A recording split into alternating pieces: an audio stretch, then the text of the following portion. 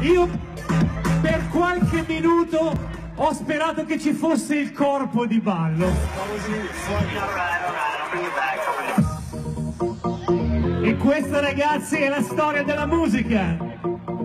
Anni 90, numero uno in Italia, prodotta da Tignino Piparo Calea, is the color inside.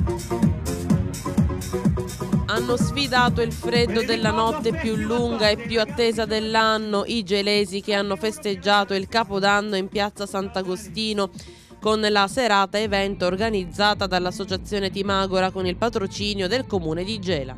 Lo spettacolo è cominciato in prima serata con la musica e subito dopo sul palcoscenico si è esibito l'attore comico Pippo Franco, molto atteso dal pubblico gelese. Come da tradizione allo scoccare del dodicesimo rintocco, l'ultimo del 2016 e il primo del 2017, spumante panettone per tutti per poi proseguire la serata con la musica del DJ Mauro Miclini di Radio DJ e Vincenzo Callea dei Typical.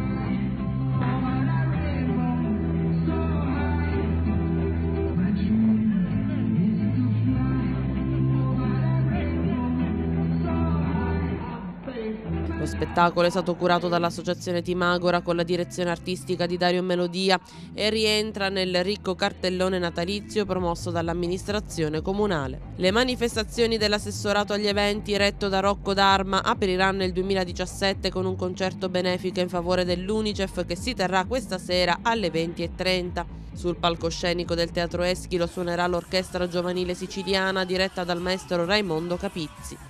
L'iniziativa è stata voluta dall'Associazione Amici della Terra.